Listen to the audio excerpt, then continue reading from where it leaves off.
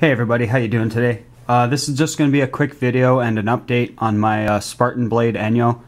Uh, I'm going to have need of uh, Spartan Blades customer service. Uh, they just contacted me back. I do have a problem with the sheath.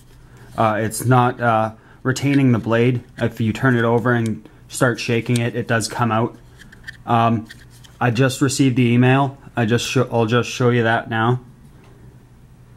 Uh, we will of course replace the sheath for you at no cost. It should retain the blade for a long time. If you would be kind enough to send it back to us, we will replace it as soon as possible.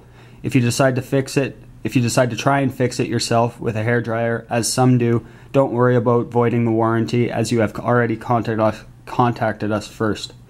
Whatever you decide, we'll be sure to do our best to make sure you are satisfied. So uh, this will be my first uh, need, let's say, of uh, customer service from uh, Spartan Blades.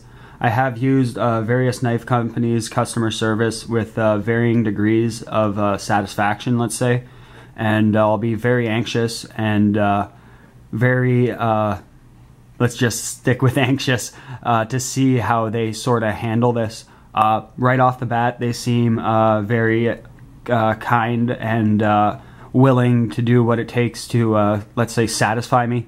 Um, $150 is the suggested retail price. I live in Canada. I paid about 170 all in. Um, I do use this knife, as you can see. Mostly that's dirt and grime because this finish is absolutely awesome. It holds up really well. Um, so I just wanted to do that as a quick video. I will update this video also uh, when I uh, get some sort of response back when I do mail my sheath out.